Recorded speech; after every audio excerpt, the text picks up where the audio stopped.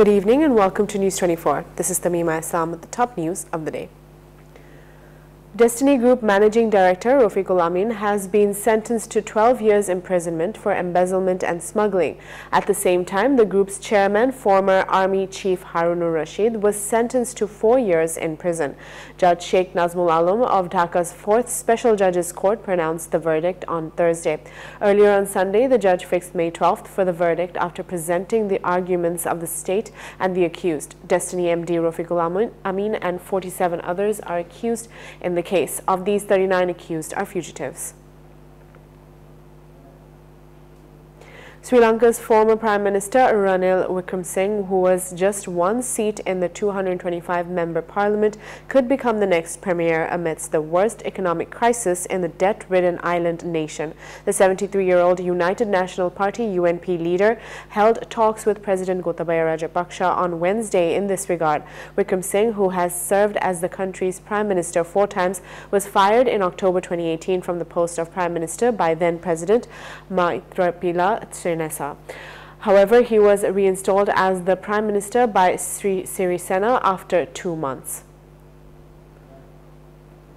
BNP wants to move forward in the future with former Prime Minister Khaleda Zia ahead.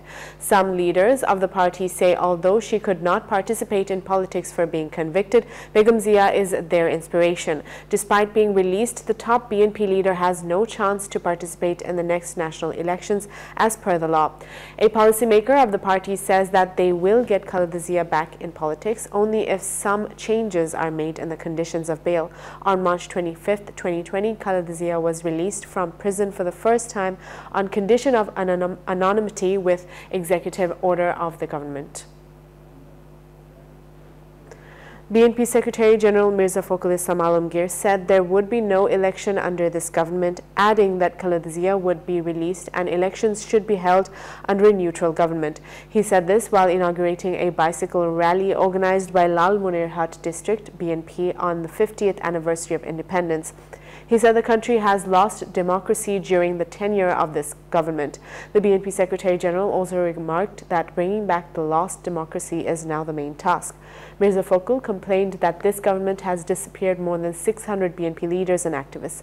BNP Organizing Secretary Asadul Habib Dulu presided over the function. Besides, leaders of district BNP and its affiliates were also present.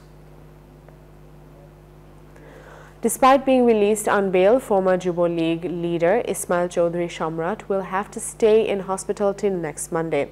On that day, the Medical Board of Specialist Doctors will review his health condition and take the next decision. His doctors said this at a press conference at Bangabandhu Sheikh Mujibur Rahman Medical University on Thursday.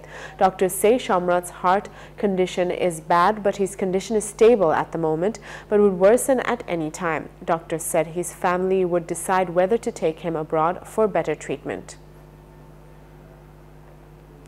Hajj Agencies Association of Bangladesh, HAB, has announced a package for Hajj pilgrims under private management at a cost of 4,63,744 taka, excluding sacrifice. The president of the association, Shahjad Hussein Taslim, said that if Saudi Arabia raises any other fee, it will also be included in the package. The HAB Hajj package was announced at a press conference at a hotel in the capital on Thursday. Compared to last year, the airfare has been increased by 2,000 taka this year.